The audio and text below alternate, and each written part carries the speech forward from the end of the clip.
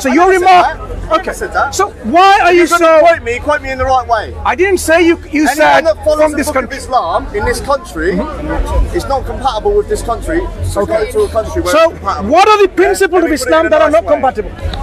That you think with the, with the Western values? To the non-believers. Okay. Say that Wait, wait, slow down, slow down. Does it say that in the book? Slow down. We will do this down, one by no. We will analyze, hopefully, with your help, point by point, point by point. So, so you consider Islam says kill the non-believers? Does it? No, it doesn't. It doesn't. Okay. No. Where's, where's the discussion then? Slow down. Where's the discussion? Slow It doesn't say that. down. Relax. Excuse me. Now, who made the claim that it says kill the non-believers? Me or him? Harry Potter. Right. Substantiate your claim. Because you just made an extremist claim. You just made a claim what you call an extremist claim, isn't it? Uh, yeah, are you obviously going to deny that? Hang on, hang on, hang on. You made a claim like an extremist. So I would like you to substantiate where Islamic text says kill the non-believers. Go ahead. you, my friend, are you saying that it doesn't say that? I just said so. Yeah. Are you saying that it doesn't say that? It's called the Quran No, I'm asking you a with an English translation. There you go, my friend. No, no, No, no, no. Substantiate your extremist view. I need a shit, I use That that. no, substantiate your extremist view. Extremist view. Did you hear what he said? Next time when he goes to the toilet, he's going to use this. What kind of decent human being would say that? Do you understand me? What's up? Don't you dare threaten me. Excuse me. What- Can you leave that conversation, please, bro? You're saying that he doesn't even Okay. say that in the Right. book. That's how back. Right, right, right, right. That's how back. Now, so I'm sure, I'm sure you've read this before. no, apparently it doesn't say Wait, wait. non-believers. I'm sure, I'm sure you've read it before, In right? that Quran. Yes, it's a Quran. Go ahead. So this is uh, with English translation. Go ahead. Say that, don't say that. Go ahead. I don't want to touch that. Okay, tell me where to find it. Where can I find it? I'll touch it. Are you saying why? Why? Why are they killing us then? Wait, wait, wait, wait. Why are they planning to kill us? Why are there twenty? Okay. Why are there twenty thousand people on the watch list? Okay. Why are there twenty thousand believers on the watch list in this country? Let me tell you. Huh? Let me Why tell are there twenty thousand believers in this country? Be patient. Trying to kill us. Right. Why are there people So now- blowing kids up in Manchester? Seven seven in two thousand and five. I'm not saying it's all of you, but why? Why are they doing it? Do you want to Why have a it? good conversation here, or you want to play emotional like he- Answer me the question. Why are they doing it? So Why this is to a do it? But I talked to this brother before. He weren't brother, brother. Oh, it's okay. Brother, listen. Do you want to have an emotional discussion here or an intellectual one? Very good. Now, so what we You can't have a know. proper conversation. My my name my- ask my my name is. Mansoor. What's yours? Braden. Ask me, Braden. Braden. Now, Braden, what I've noticed now suddenly, what we call. No, you're trying to control the conversation. It's not going to happen. Tell me when you're finished. Right. So, answer me this question: Why are there 20,000 people on the watch list, Muslims on the watch list, potentially going to create terrorism? Why there, God knows how many hundreds of people gone from London to Syria and killed people in the name of Islam? Why? Yeah. So first question: Why are there more than twenty thousand people in the watch, watch list? Because they're on the watch list for a reason, right? Because they are potential terrorists. Yeah. And why are Why they? though? I thought you finished, and it's uh, my turn to. Sorry, sorry. The reason why I was repeating the question so that you understand that I've, I have actually heard your question. Okay, on. Right.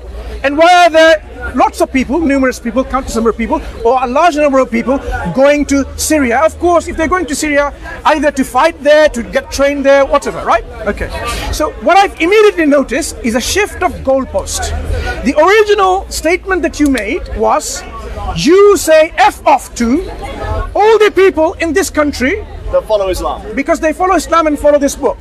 So I was interested to find out what are the principles and values from this book that goes against your values or the Western values. Answer, And question, listen, listen. and they go completely no, no, no, no, no, hang on. I ask you a question, and you go. Braden, Braden, look, my memory isn't a short-term memory problem. I don't suffer from that. I'll get to the point. Right? I've already repeated the question that you asked. But what I'm highlighting is what we called the shift of goalpost. The original discussion has been challenging you of your offensive remark, which you didn't want to apologize, and there are people and there are people who are actually supporting your right to offend others. Oh right? So God. so what I challenged you is I said Why are people blowing us up? No, excuse Why me. are people stabbing us? Why are there 20,000 people on the watch list? Braden, Yes? Did I not- Muslims. did I not They're following that book that you have in your hand. Braden, They can incite the Quran to the word and they won't blow 22 children up. And you're going to defend them. Tell me when you finish. Oh. Because you're clearly not finished. Are you going to defend them? No. Would you would you be kind enough to let me answer your question? You're not, because you're going to go school with, you're going to go back onto the point of what I said. All people, not Muslims, all people that follow that book to the letter are not welcome in this country. They're not compatible, unfortunately. Sure. Yeah? I would And the reason was, nothing wrong and, with and what was the reason you said that? Because there's 20,000 of them on the watch list, they're blowing our children up, they're stabbing us on the bridge, they're running us over. Okay. What more do you want? They're Sure. raping us. Okay. Yeah? So let's understand something. If. Muslims, if Muslims don't, Condemn them. I do condemn them. Yeah. Let them be punished severely by the hands of the law.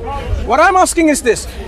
People who should be punished are the people who are the criminals and whose crime has been established. So any criminal whose crime has been established by law, they should be punished. But my point was something quite different because you made a claim, whoever follows this book. Yeah. Now, what within this book, this Quran, Am I changing that? Wait, wait, wait. What's the point? That promotes values which are incompatible. You said this book says kill the non-believers. I challenged you, saying no, it doesn't. Find it in that book. Hang on, I say it doesn't. So you've shifted your goalpost from okay, why do people go to Syria? Question number two, and question number one, why are there more than twenty thousand people on the watch list? Let me tell you why. First point, the Quran doesn't say go and kill civilian people, innocent people. Quran says fight those who fight you. That means if you fight the Muslims in a context of war, they're not going to say, oh, let me come and hug you and kiss you with flowers. No, they will fight and defend because it's a natural response. Secondly, since the Quran doesn't advocate or encourage the killing of innocent people, innocent civilians, your remark about Muslims are doing this by following this book is not is meant to be totally, excuse me, totally unfounded. And this is how this is how we debunk this kind of claims. Now moving into your claim about why people do that. There are people who don't follow this book, and then they gamble. And they're Muslim. Excuse me. Would you would, would you let me finish? you're going on and on no, I'm trying to answer, and you have no patience. The people, the people who blow up in 7-7 No, or listen, I'm 9-11. gonna be doing this Listen, to me. listen, listen. put your fucking hand away from me. I'm telling you now. Huh?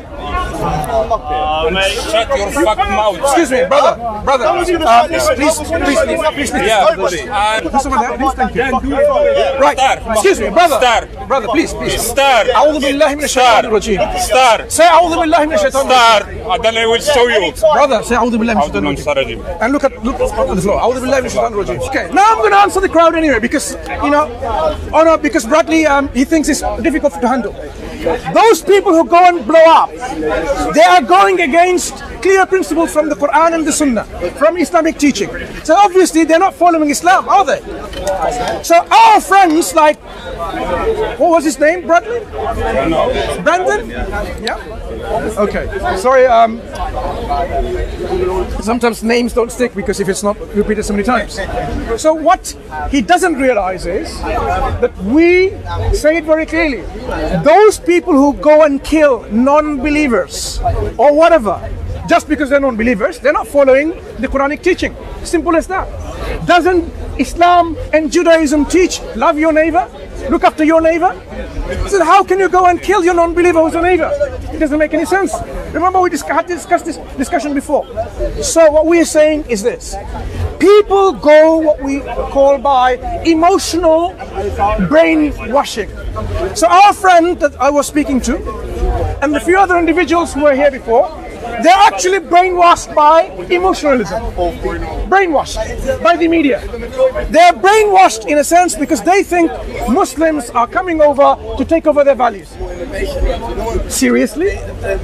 If you look at Islamic history, we have in Syria, not now, because now it's a mess, you know, for more than thousand years, a church on, on this side and a mosque on this side. Muslims and Christians living side by side for more than thousand years. How was that possible? How is it possible? A mosque and a church just opposite to each other in Damascus. It's because how Islam treats everyone in fairness and justice and intoleration. Just because, just because you don't, just because you don't agree, it doesn't mean we have to go and simply annihilate you from existence. No, the differences can exist, and it's it's possible, and it has been always. No one can change each other's belief, so we encourage people. I want to make it very short. We encourage people to remove the veils that are blinding you by this emotional brainwashing by the media. Whether you read on the papers, watch it on YouTube, on on, on, on, on TV, ask yourself, does this book say such a thing? Such a horrible thing about killing the non-believers just because they're non-believer? Or is there a huge propaganda? So there is a propaganda and I would like you to wake up to this propaganda and confront it yourself. Because unless you confront this propaganda, you will be the victims. You will be the victims. They will, you know, mass mobilize a group of victims like you and then, then go to Iraq and other countries to change the regime because they think it's, it's an existential threat. Because these countries are a threat to your civilization, threat to your values and principles. And that's why you will say, let's go and fight and bomb Iraq and so on and so forth. When it has nothing to do with any of these things.